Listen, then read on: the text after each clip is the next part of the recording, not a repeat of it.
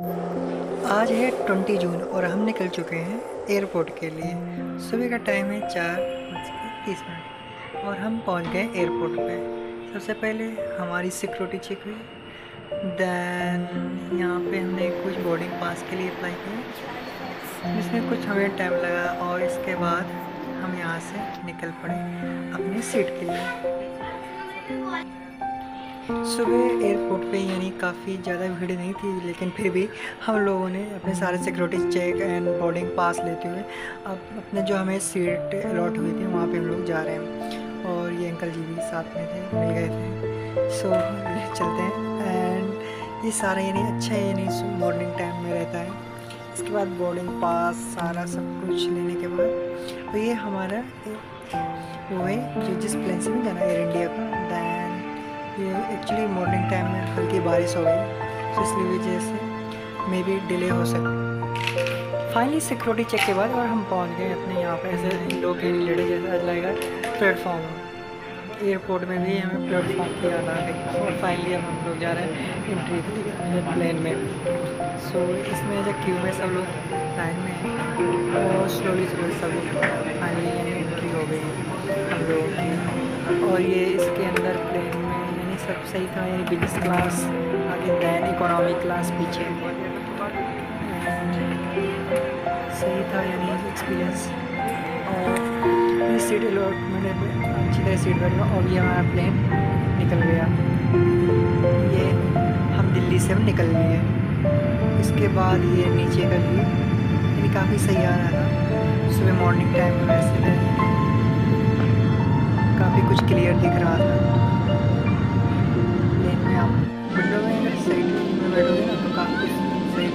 इसके बाद ऊपर ये प्लेन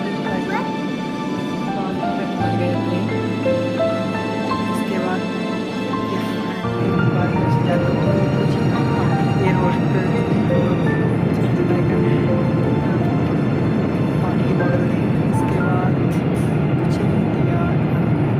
टैक्सी देखते क्या है। ये बाहर और मॉर्निंग टाइम में आप जैसे होते हो ना, सही लगता है कि हाँ डेढ़ घंटे की फ़्लाइट में सही रहता है आराम से जाओ और निकलो, वहाँ से बैठो। सही था यानी सेटिंग और यानी अब हम लोग यानी टेक ऑफ़ करेंगे अहमदाबाद के लिए। और फाइनली हम लोग पहुँच गए अहमदाबाद। और यहाँ तक यानी काफ़ी यानी टाइम भी नहीं पता चला है, डेढ़ घंटे में अप्रॉक्स हम पहुँच गए।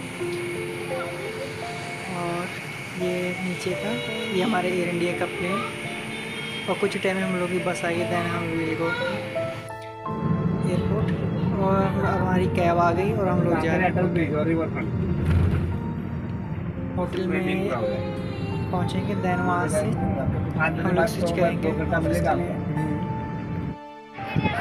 नाव ऑफ़िस का सारा काम खत्म करके ले ये लेकिन ही उसने कैब ड्राइवर ने बोला था काफ़ी सही लेके अहमदाबाद का फ़ेमस लेके और इसके अंदर एक जू भी है जो जू में काफ़ी चलो छुट्टी करके जू भी जाते हैं। वो देखते हैं क्या है क्या है वैसे उसने बताया था काफ़ी सही है बट सी है अब उसको जाके पता चलेगा। और ये साइड का लेक का यानी इसके अंदर में ट्रेन ये साइड में जो है ना ट्रेन का है वहाँ से ट्रेन भी चलती है। तो यहाँ काफ़ी सही लगता है। ये यानी क्लीन वहाँ पहुँचे उस साइड अगर आप देखोगे ना तो उस साइड भी यानी पूरा दो तीन किलोमीटर का राउंड है। और इसके साथ साथ यहाँ पे होटल भी हैं और थोड़ा काफ़ी कुछ एक्टिविटी करने के लिए भी है। सो so, यानी पूरा ओवरऑल एक्सपीरियंस देखो तो काफ़ी कुछ सही है। ये ये होटल्स हैं कुछ। और ये टॉय ट्रेन है जो यानी पूरा राउंड करती है इसका एक प्रॉक्स चार्जेस होंगे चार्जेस हैं तो फोर्टी फाइव के प्रॉक्स हाँ और ये टॉय ट्रेन थी। सो यानी काफ़ी यानी सही है बच्चों के लिए पूरा, उन्हें यानी पूरे एक राउंड लगा देती है लेक का।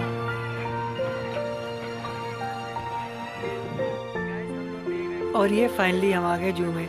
जू की एंट्री तो काफ़ी यानी सही रही।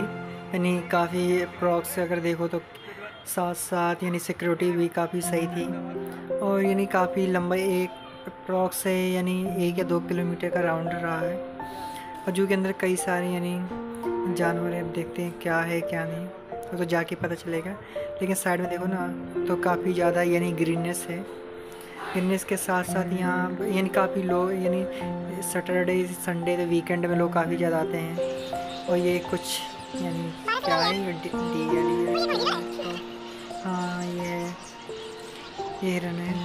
और यानी यहाँ से सही यानी अगर आप देखो तो पूरे एक देखने को मिल जाता है। सही रहता है इसमें सारा सब कुछ, एक साथ आप कई सारे देख पाओगे। हाँ यहाँ इसके साथ साथ यहाँ अगर जिसको यानी पर्सनली जाना होता है यहाँ आज है ट्वेंटी वन जून और हम मूव कर रहे हैं अहमदाबाद से सूरत। ये डबल डेकर ट्रेन है इसका यानी सुबह मॉर्निंग का टाइम है, पाँच बजे पाँच बजे यहाँ से निकलती है और आपको यहीं सूरत छोड़ते हैं आठ बजे। यानी काफ़ी फुल एसी डबल डे का ट्रेन है चेयर कार सो चलते अपनी ट्रेन आ गई है। इसमें अपनी टाइम भी काफ़ी, यानी बहुत ही, इसकी कूलिंग ना काफ़ी ज़्यादा रहती है। सो फाइनली हम ना पहुँच गए Surat. So okay bye thank you